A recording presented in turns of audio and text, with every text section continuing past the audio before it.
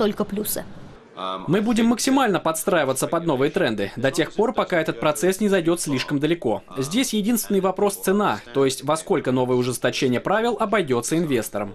Скорее всего, инвесторы за ценой не постоят. Буквально в конце марта заголовки всех мировых газет пестрили новостью о том, что Мит Ромни – наиболее вероятный кандидат от республиканцев на выборах президента США и едва ли не самый известный мормон современности, имеет миллионы долларов, пристроенных на Каймановых островах.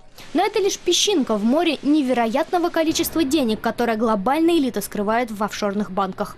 Согласно исследованиям МВФ, в общей сложности там находится 18 триллионов долларов. Для сравнения, ВВП США в 2011 ненамного превысил 15 триллионов. Татьяна Наумова, Вести. Thank you